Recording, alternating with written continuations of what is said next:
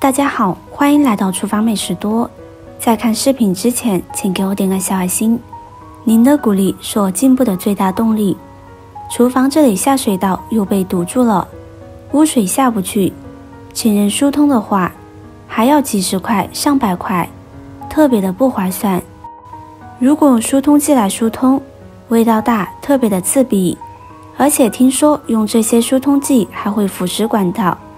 真的是一点都不实用，所以像这样的洗碗池被堵了，真的是一个大问题。听说只要加一把它就能够解决这个问题。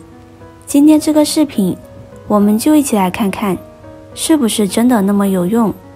首先准备一个塑料瓶，瓶子的底部剪上一圈。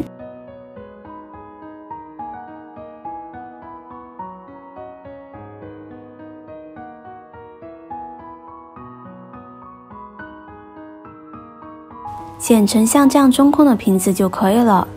这个瓶盖不要拧出来。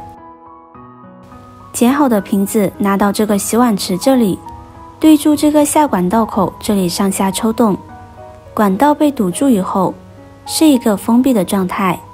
剪好的瓶子呈现一个中空的样子，上下抽动，有空气还有压力，能够冲开这个堵塞物，让下水道通畅起来。现在就感觉到这个水慢慢的往下沉了，多抽动几次。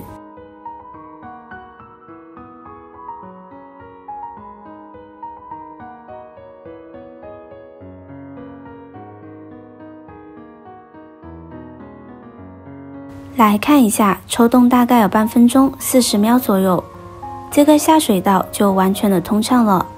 把这里面的脏东西、食物残渣给倒出来。为了保证下水道的中间或者末端完全的通畅，不会说待会有堵塞，我们还要进行下一步的处理。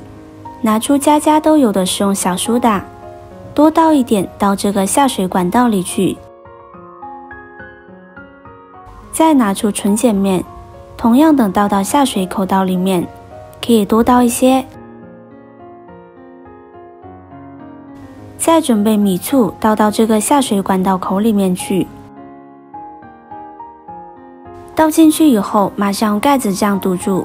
刚刚我们倒进去的小苏打和食用碱都是呈碱性的，和酸性的白醋结合在一起，能够产生二氧化碳这一气体，还有许多的小气泡，这样能够很好的软化管道里面的污垢，气体还会冲开这个盖子。顺道也冲开这个管道里面残留的残渣，这样一来，下水管道的中间或者末端里面的脏东西都会被冲出去哦。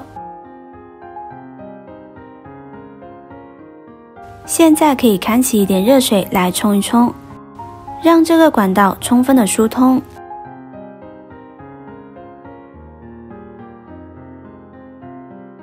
另外准备一个碗，挤入一点洗洁精。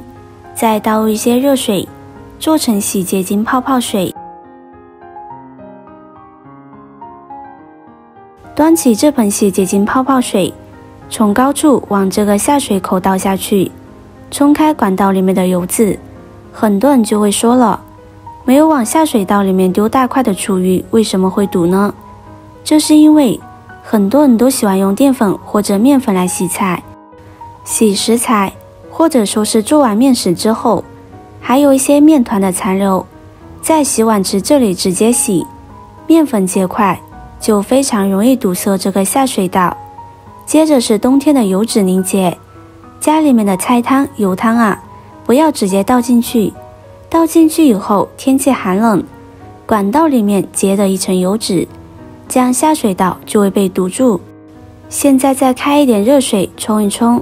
像平时我们家里面用这个洗碗池要使用得当，不管大块小块的厨余，还有菜汤、油汤，都不要直接倒进去哦，非常容易堵塞或者结液成油脂，就会使得这个下水道堵塞起来。